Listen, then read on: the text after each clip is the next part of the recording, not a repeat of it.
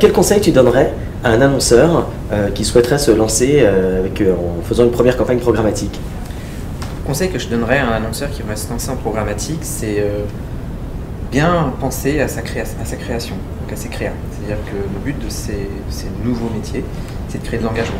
Et on parle souvent de ciblage, de site, de brand safety, et on parle peut-être pas assez de, la, de la pertinence de la créa. Donc c'est de bien penser à cette créa-là, et donc de bien penser euh, son ciblage, parce que le CLTV permet d'optimiser le ciblage, donc de bien scénariser avec des cohortes euh, ces, ces- ces- ces choses-là. Euh, c'est de bien penser aux impacts organisationnels, parce que ce sont des métiers qui impliquent beaucoup plus de logique data, donc ça fait évoluer les métiers notamment euh, d'acquisition. C'est de bien penser à- aux objectifs, très important.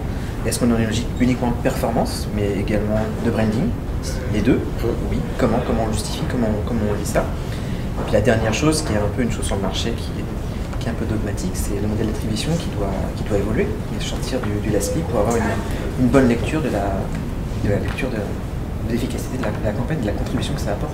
D'accord. Et du coup, euh, cette notion de last click, euh, qui vient initialement plutôt du search, euh, aujourd'hui sur du display, quel est le modèle qui te paraît le plus, le plus pertinent On parle de post-view versus post-click. Euh, quel est ton avis là-dessus et, le conseil également que tu pourrais donner?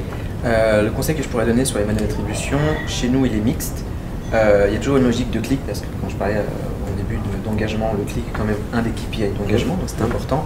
Euh, mais chez Bazar Chic, euh, sur la post-impression, le post-view, c'est 72 heures. Parce que suite au test qu'on a fait, on a vu que quand il se passait quelque chose suite à une exposition, a priori ciblée, donc pertinente, Mhm. qui a créé de l'engagement, Mhm. euh, ça se passait, c'est la règle des 20-80 de Pareto, plus de 80% se passait dans les 72 heures. Donc on n'est pas sur fait de dire 30 jours, 24 heures, 12 heures, comme on disait tout à l'heure.